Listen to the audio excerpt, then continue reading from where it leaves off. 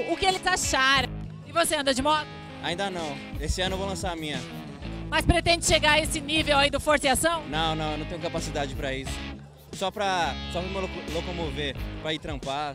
Tudo bem, gostou do evento? Queria mandar um beijo pra minha mãe, um beijo pro meu pai, um beijo pro, pro Caio ali, um beijo pra Renata. Muito bom o evento, show de bola. Da hora. Você anda de moto? Eu ando de moto. Se arriscaria nessas manobras aí? Com certeza. Precisar fazer, você tá dentro. Também. E aí, gostou do evento? Show de bola. Anda de moto também? Ah, muito pouco, mas. mas muito pouco. Assim, eu acho que deveria ter mais aqui. Show que nem esses aí. É bom pra divertir, trazer a família, né? Tudo bem, nome do senhor? É, Luiz, Seu Luiz, o senhor gostou do evento? bastante legal, viu? Gostei bastante. Ficou sabendo do evento como? Na verdade, o meu filho me avisou, né? Mas um dos integrantes é meu vizinho, mora de frente, né? O Bocalini, né? E também conheço já o, o Dentinho desde a época da cultura, né? Muito legal. Então manda um recado aí pro Dentinho. É um trabalho lindo, né? Tem, eu acho que tem influenciado bastante a molecada, né? E a molecada tem. O motociclismo é uma coisa que fascina, né? E do jeito que eles fazem, concentrado, é, organizado, isso é um incentivo legal. E aí, aproveitar e mandar um abraço pra ele, faz tempo que eu não vejo ele, né? Mas pelo visto aqui é difícil subir até ali, mas muito legal. O senhor anda de moto? Anda de moto, anda, até hoje. Faz 43 anos que eu ando de moto. Ah, então esse, essas manobras pro senhor é fichinha.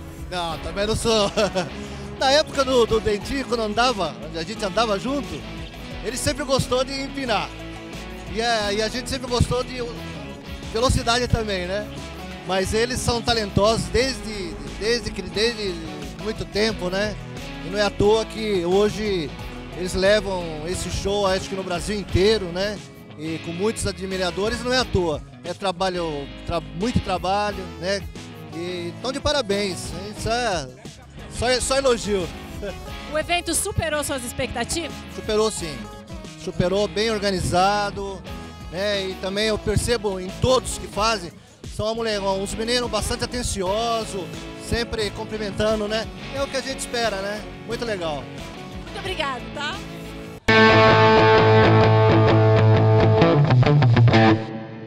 E agora a gente está aqui com o Xandão, que veio prestigiar o evento porque ele é parte fundamental aqui na equipe Força e Ação. Ele é um dos fundadores. Tudo bem, Xandão? Tudo bem, maravilha. Maravilhoso. Apesar de você não fazer mais parte da equipe oficialmente, você está em todos os eventos? Não em todos, mas uma boa parte aqui em São Paulo e interior de São Paulo, né? Que eles andam o Brasil inteiro, todas essas coisas. Mas quando tá, eu prestigio aqui em São Paulo, sim, com certeza absoluta. A emoção de prestigiar o evento é a mesma de quando você participava dele? Eu acho que é pior. É bem mais emocionante. Tudo bem, participar é uma coisa, mas você olhar é muito gratificante para ver aonde que chegou a equipe Força Ação, né? O nome, né? O dentinho, as pessoas que começaram mesmo, né? Então isso para mim é um- uma grande honra ver onde que foi o nome, né? A equipe Força Ação. Conta um pouquinho pra gente como nasceu esse sonho. Ah, a gente desde pequeno, né? Bicicleta, depois veio as motos e a gente começou a reunir num lugar que começamos a empinar, brincar e daí começamos a conversar sobre uma equipe. E aí surgiu um campeonato Willy, né? No AMB, 1989, 88, mais ou menos assim. Se reunimos com o pessoal, com nossos amigos. Ah, vamos montar uma equipe? Ah, vamos aí, vamos tentar. Aí vamos Aí a gente começou com vamos procurar um nome, né? Aí começamos a procurar um nome, ter ideias um com outros. E aí a gente foi montar uma equipe numa brincadeira e hoje se tornou essa parte profissional que é onde está. Teve dificuldades pelo caminho? Muita, né? Muita, muita, muita, bastante, viu? Dentro de 3 a 4 anos aí, pelo menos quando eu fiquei, tivemos muita dificuldade. Eu acho que durante uns 9 anos de equipe aí, ou até 10 anos de equipe, não foi fácil não. Para eles, né? Depois eu saí, depois eles continuaram, mas não foi fácil, porque o esporte hoje em dia no Brasil é só futebol, né? Moto não deu muito valor, sei lá. Qual a maior satisfação sua hoje em ver essa equipe formada, 28 anos de estrada? Conta um pouquinho pra gente. Difícil, difícil de falar, porque esse nome Forçação é como saiu da garagem da minha casa. Eu tenho um orgulho enorme, maior satisfação de estar ainda vendo onde eles estão, cada vez mais, vendo o Dentinho, né? Essa luta que é, porque não é fácil. Qualquer tipo de, de esporte não é fácil. Viver do esporte. Então, nossa, é sem palavras. Pessoal, acredite, vá em frente e, meu, sempre acredite em Deus que Ele vai ele vai te mostrar o caminho e você vai conquistar. Pode ter certeza disso. E tá aí o exemplo que é hoje aí, onde está a equipe Força e Ação. E sua maior satisfação após ter saído dela, mas acompanhando-a? Quando eu estava, a emoção era em cima da moto. Muito bom, muito ótimo. Uma estrutura muito pequena, quase nada de estrutura. A gente se virando como tinha que fazer. Hoje, fora da equipe, nossa, não tenho o que falar. É um, uma satisfação enorme. É uma coisa sem palavras. É muito, muito emocionante para mim mesmo que saiu da minha casa essa, esse nome Equipe Força e Ação. Então, muito obrigada, Xandão. E sigamos com força e ação. Oh, com certeza. Vamos lá, gente. Acredite.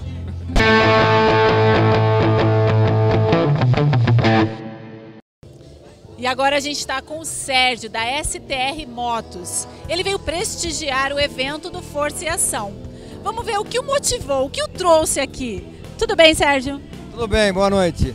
O evento da, do Força Ação é um evento bastante é, já tradicional em São Paulo. Esse grupo tem mais de 22 anos, é patrocinado pelo Consórcio Nacional Honda e pela Honda, e ele vem sempre, é, de uma certa forma, trazer uma alegria e trazer uma proximidade da marca Honda com todo esse público usuário. Né?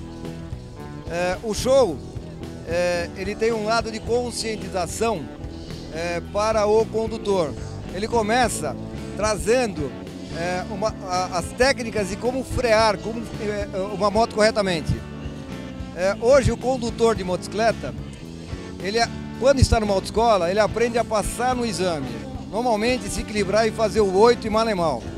É, e quando ele vai para o trânsito e numa emergência, num susto, é, num, uma criança que entra na frente, um buraco, uma fechada de carro, ele freia errado a moto e acaba caindo e se acidentando. Nós acreditamos que 90% dos acidentes de motocicleta que acontecem hoje no Brasil for, for, são por frear errado a motocicleta. E o show traz isso, mostrando que 70% da freada na motocicleta tem que ter freio dianteiro e 30% com freio traseiro. Se as pessoas treinassem frear, eles iriam começar a criar uma, uma condição é, que num susto eles não fariam a freada errada e normalmente não cairiam e não se machucariam. Então o show, além de trazer toda a beleza, é, toda a técnica, toda a experiência da equipe, com manobras radicais, ela traz também uma conscientização com a segurança de conduzir corretamente uma motocicleta. Existe uma forma segura de andar, de andar sobre duas rodas? De acordo com a Honda, existe. Tanto é que ela acredita no mercado e produz esse produto. A Honda nunca criou o produto para machucar alguém ou para matar alguém, e sim para facilitar a condução no dia a dia, para fazer o ir e voltar mais tranquilo, mais prazeroso, mais rápido e mais econômico. Existe, eu te dou um exemplo, eu ando de moto desde os 14 anos de idade, estou com 59 para fazer 60 e nunca machuquei um dedo. E ando de moto diariamente, viajo e conduzo motocicleta. Então eu conheço muita gente que nunca se esfolou com motocicleta. Na verdade, os acidentes de motocicleta, ele acontece por falta é, de responsabilidade dos condutores. Isso não só com motocicleta, mas com carro com todo mundo. Quantas pessoas morrem atropelado? E quem faz uma avenida não faz para que as pessoas sejam atropeladas, faz para que os veículos trafeguem por ela. Então a motocicleta não foi feito para ninguém cair. E se existir condição é, é, de responsabilidade na condição, as pessoas vão andar a vida inteira de motocicleta com segurança, como existe muita gente andando até os 80 anos de idade. Muito importantes as dicas aqui do Sérgio, vale a pena ser seguida, seguidas todas elas, e nós queremos agradecer pela sua participação, por vir prestigiar aqui o Força e Ação. E obrigado por vocês também estarem prestigiando esse evento, que eu acredito ser bonito, emocionante e que agrada a todo mundo. Você vê a, a, a, o nível de, de, de alegria que o público sai com esses pilotos maravilhosos da Forçação. Sinceramente, sentiu algum medinho aí em algum momento? Hum, pela nossa experiência de tantos anos de motocicleta, não. Eu tenho certeza que muita gente sentiu o friozinho na barriga. Mas é o lado gostoso da emoção, né? Tudo bem. Tudo bem. Prazer imenso receber vocês aqui, né? Mais uma vez, mais um show, graças a Deus. São Pedro ajudou, né? E é, o nosso público também marcou presença. E com certeza foi um espetáculo. Equipe Forçação, onde que passa, deixa só boas notícias e muita adrenalina e muita emoção. Quanto tempo passando um pouco dessa emoção para o público que vem prestigiar, prestigiar o evento? Bom, eu venho do motocross, né? Faz 16 anos que eu trabalho com locução e quando eu recebi o convite pelo Dentinho, hoje faz mais de dois anos que eu estou na equipe. Algum momento que fez toda a diferença para você, narrando um evento como esse? Bom, acho que todos são, né? Eu acho que cada, cada show é um aprendizado novo. É, você nunca sabe tudo, porque tudo acontece na hora, né? Não tem nada programado, então eu acho que todo momento é, é único, é exclusivo. Você já tinha passado pela sua cabeça alguma vez na vida estar onde você está hoje? Sinceramente não. Sinceramente não. É, quando eu comecei eu achei que era só uma brincadeira e meu trabalho foi profissionalizando e trabalhei em várias copas de motocross, fiz o Campeonato Brasileiro de Motocross, e quando eu recebi o convite aqui de Forçação, eu acho que qualquer um queria estar aqui, sendo ou motorista, ou ajudante, locutor, piloto, é a mais famosa do Brasil. Qual a sua maior realização em estar com, digamos, uma família, né? Vocês são uma família. Qual é a sua maior alegria? Bom, é, é estar fazendo o que eu amo, que é a locução, né? e sempre Deus dando saúde para a gente fazer o que a gente gosta. Eu acho que isso é o melhor presente que a gente recebe e o carinho do público também. Você chegou onde você não imaginava. E a gente sabe que tem muita gente aí com sonhos que estão tão distantes. Qual a mensagem que você passaria para essa pessoa?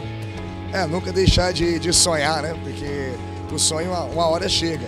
Tem que ter fé em Deus, lutar pelo que gosta, é, com muito esforço, muito carinho, acreditar sempre que uma hora chega. Força em Ação, você considera que chegou? Força em Ação chegou. Hoje, para mim, é, é uma família, né? Porque convivo mais com eles do que com minha própria família. Eu deixo meu filho para trás, então é uma parte que é muito complicada para mim. É difícil, né? Estar tá longe de casa, longe da minha esposa, longe do meu filho, mas eles sabem que eu estou fazendo o que eu amo. E eles te apoiam? Com certeza. Se não fosse eles, hoje eu não estaria aqui. Meu pai, minha mãe, é que sempre, desde, desde o início de tudo, a minha mãe nas orações para dar tudo certo, então chegou onde chegou porque teve que ser o momento. Muito obrigada.